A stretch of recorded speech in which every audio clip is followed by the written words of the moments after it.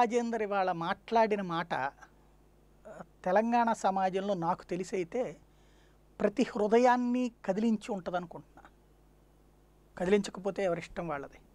కేసీఆర్ పట్ల అభిమానం ఉన్న వాళ్ళకి కూడా ఖచ్చితంగా మనసు కదిలిస్తుంది. ఎందుకంటే ఈటెల రాజేందర్ దోపిడీదారు అని చెప్పేటువంటి వాడు అజ్ఞాన అయ్య- అయినా అయి ఉండాలి. లేదంటే కనుక బానిస లాంటి మనస్తత్వం ఉన్నోడన్నా అయి ఉండాలి. మనకి నాయకుల మీద అభిమానాలు ఉండొచ్చు తప్పేం లేదు. అభిమానం దురభిమానంగా మారకూడదు.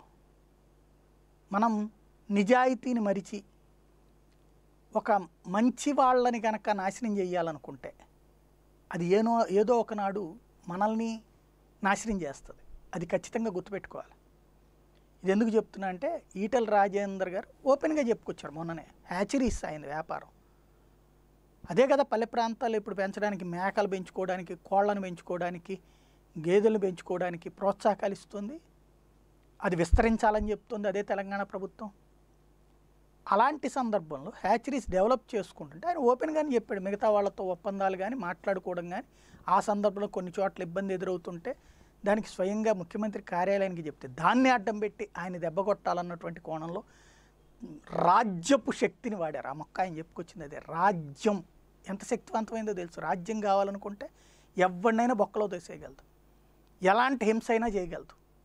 రాజ్య హింస అనేది అత్యంత ప్రమాదకరం. రాజద్రోహం అనే కేసు పెట్టి పడేసేయచ్చు. ఇక్కడ ఆ విధమైనటువంటి కోణంలో ఆయన ఒక పెద్ద దొంగని చేసి చూపెట్టేటువంటి ప్రయత్నం. ఆయన అందే అదే. నిజంగా టీఆర్ఎస్ వల్లే నేను నాయకుడిని అయ్యాను. టీ కేసీఆర్ శిష్యుడిగానే నేను నాయకుడిని అయ్యాను. సేమ్ టైం ఆత్మాభిమానాన్ని చంపుకోలేము ఎందుకు దూరం చేసుకున్నారో మీకు తెలుసు. దూరంగా పెడుతున్నారు. మీరు ఎంత శక్తివంతులో కూడా తెలుసు. కానీ నన్ను దొంగం చేయాలని చూసేటువంటి పర పద్ధతి కరెక్టేనా ఆలోచించుకోండి. ఎంత బాధ్యతాయుతంగా హృదయాన్ని అలాగా టచ్ చేసింది ప్రతి ఒక్కళ్ళు కూడా. మేబీ అది రేపు కేసీఆర్కి వ్యతిరేకత అవుతుందా లేదా పక్కన పెట్టండి.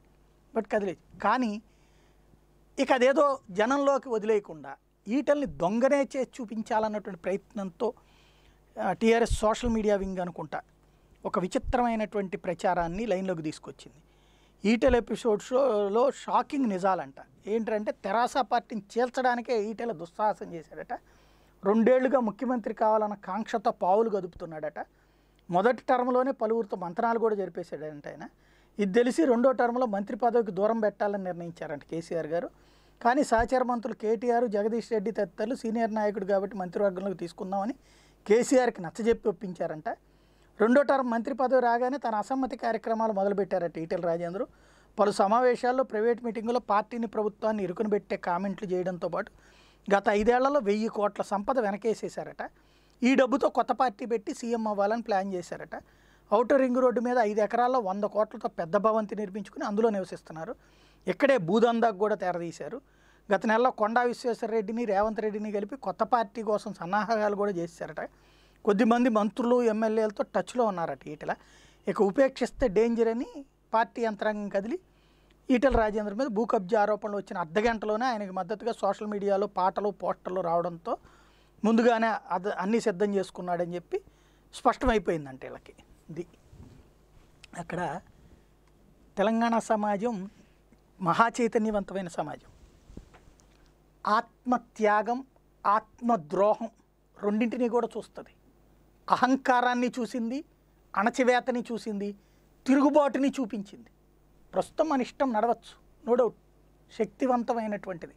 పవర్ పవర్ అనేటువంటి దాన్ని శక్తివంతంగా కాంగ్రెస్ పార్టీ వాడుంటే తెలుగుదేశం పార్టీ వాడుంటే ఇవాళ ఉద్యమం ఉండేది కాదు ఇది ఉండేది కాదు.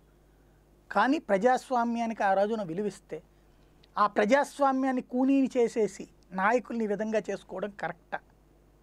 ఆయన వ్యాఖ్యలు ఇబ్బంది కలిగిస్తాయి. ఎంత ఏ వ్యాఖ్యలు? దాన్ని ట్విస్ట్ చేసుకు చూసుకుంటే.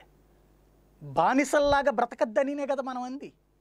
మనవాడు బానిస ఎట్లవుతాడు మనవాడు ఎవడు అహంకారం ఎందుకు అవుతాడు ఆయన ఓపెన్గా చెప్పింది అదే. కేసీఆర్ గారి ఫామ్ హౌస్ అయినా కేసీఆర్ గారి బంజారాయిల్ జూబిలీ హిల్స్లో హౌస్ అయినా ఆ ఆ రోజుల్లో కట్టుకున్నది ఎంత రేటు కొనుక్కొని కొనుక్కుని కట్టుకుని ఉంటారు? ఇవాళ రోజున వందల కోట్లు అయితే అది వందల కోట్లు దోచుకున్నట్టు అవుతుందా? ఏసీబీ కేసుల్లో కనుక మనకు నచ్చని వాళ్ళ మీద పెట్టాలంటే ఆదాయానికి మించిన ఆస్తులు ఇవే పెడతారు. యాభై లక్షల రూపాయలు పెట్టి కొనుక్కున్నటువంటి ఇల్లు ఇప్పుడు ఫర్ ఎగ్జాంపుల్ ఏ హైటెక్ సిటీలోనే యాభై లక్షలు పెట్టి ఒక ఫ్లాట్ కొనుక్కుంటే వాళ్ళ మూడు కోట్లు నాలుగు కోట్లు బలుకుతుంది. ఇవాళ మార్కెట్ వాల్యూ చేసేసి ఆయన అవినీతికి పాల్పడ్డాడని రాయొచ్చు. అదే సందర్భంలో దాన్ని తప్పుగా వాడుకునేవాడు కూడా ఉంటాడు. నాలుగు కోట్లు పెట్టుకుని యాభై లక్షల రూపాయలకు కొన్నానని రాసేవాడు కూడా ఉంటాడు. వాడి బదులు ఈడు అన్యాయం అయిపోతుంటాడు అనమాట అదే తరహాలో ఆయన మీదన ముద్ర వేయాలనుకోవడం ప్రస్తుతానికైతే పవరు సంక్షేమ పథకాల పేరుతో మనకి పాజిటివ్గానే ఉండొచ్చు. బట్ ఆత్మ పరిశీలన చేసుకోవాలా లేదా అన్నది ఎవరిష్టం వాళ్ళది.